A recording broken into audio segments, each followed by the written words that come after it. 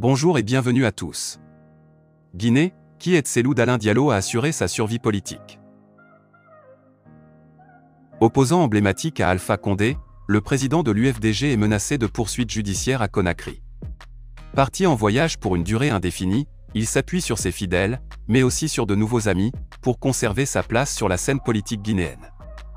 Le rôle d'opposant, cela fait plus d'une décennie que Cellou d'Alain Diallo le tient.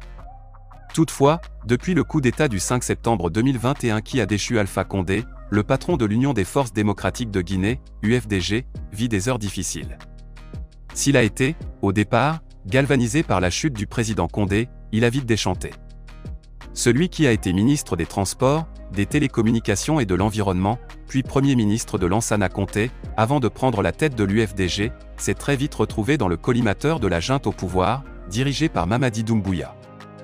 Avant de commencer n'oubliez pas de vous abonner et d'activer la cloche de notification pour ne rater aucune de nos prochaines vidéos.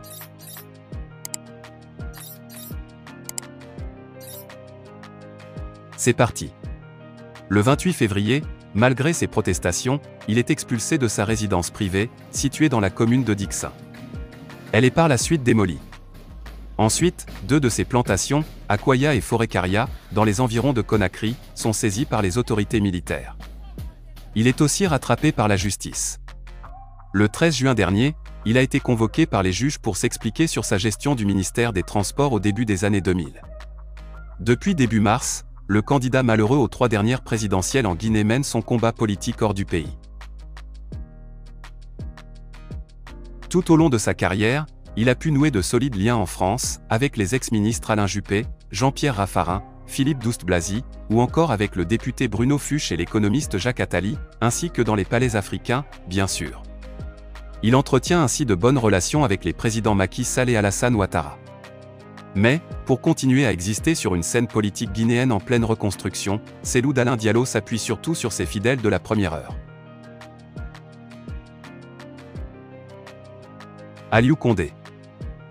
Au sein de l'UFDG, il est le stratège, l'homme des dossiers et des chiffres. Discret, il fuit les médias comme la peste. Une longue relation de confiance le lie à Cellou d'Alain Diallo, dont il fut le secrétaire lorsque celui-ci était ministre des Transports.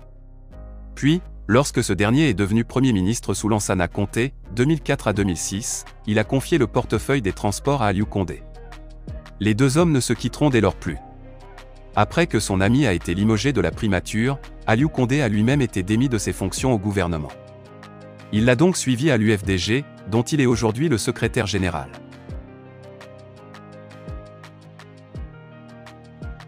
Mamadou Banossou.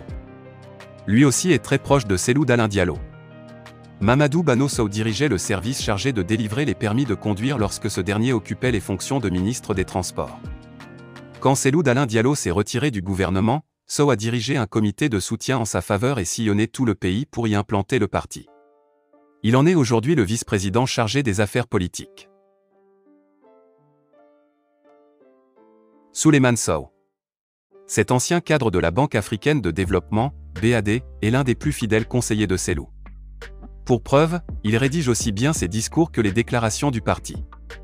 Il pèse d'ailleurs beaucoup dans les prises de décision au sein de l'UFDG. Nadia Naman. Figure féminine du parti, elle se tient toujours à côté du président lorsque celui-ci apparaît en public.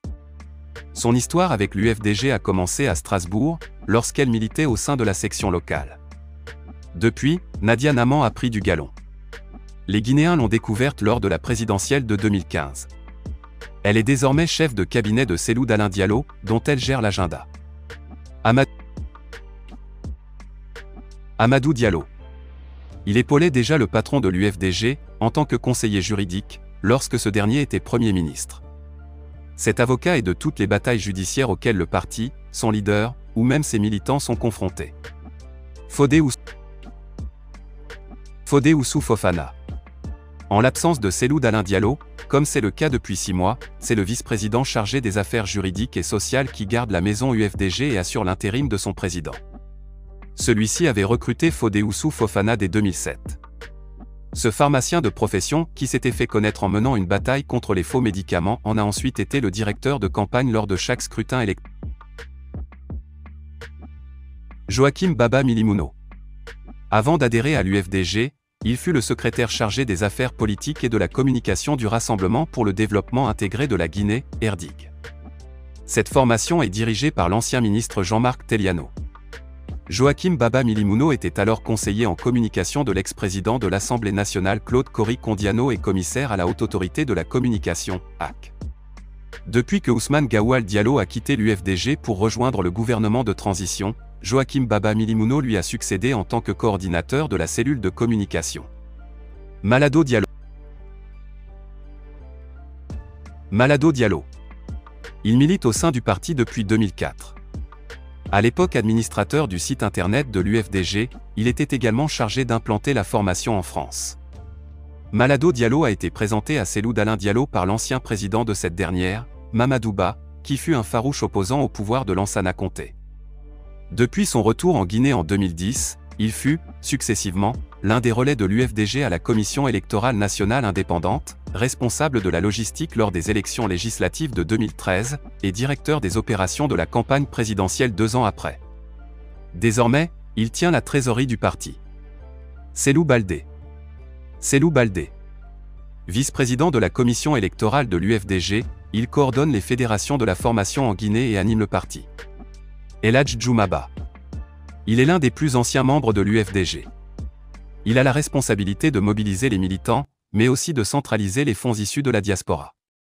Cette mission, qu'il remplit avec Kalemodou Yansane, le vice-président chargé des affaires économiques, est d'autant plus importante que les Guinéens de l'extérieur constituent un important vivier électoral.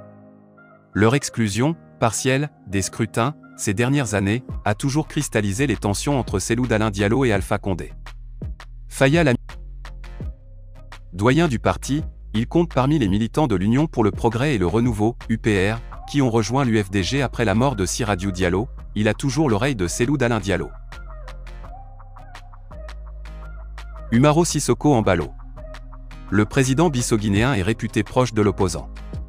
Cellou, c'est mon frère, mon candidat préféré pour la Guinée. Si j'étais guinéen, je voterais pour lui et Alpha le sait avait-il déclaré à GIA à la veille de la présidentielle d'octobre 2020. Lors de celle de 2019, Cellou l'avait lui-même aidé, alors que l'ancien président Alpha Condé était plutôt favorable à son rival, Domingo Simos Pereira. Les deux hommes se côtoient toujours aujourd'hui. Louis Michel. Ils ont fait connaissance au début des années 2000, lorsque Cellou était ministre des Transports et des Travaux publics tandis que Louis Michel dirigeait les affaires étrangères. Mais leur amitié s'est véritablement nouée à partir de décembre 2004, quand le premier a été nommé chef du gouvernement, et le second, commissaire européen chargé de la coopération internationale.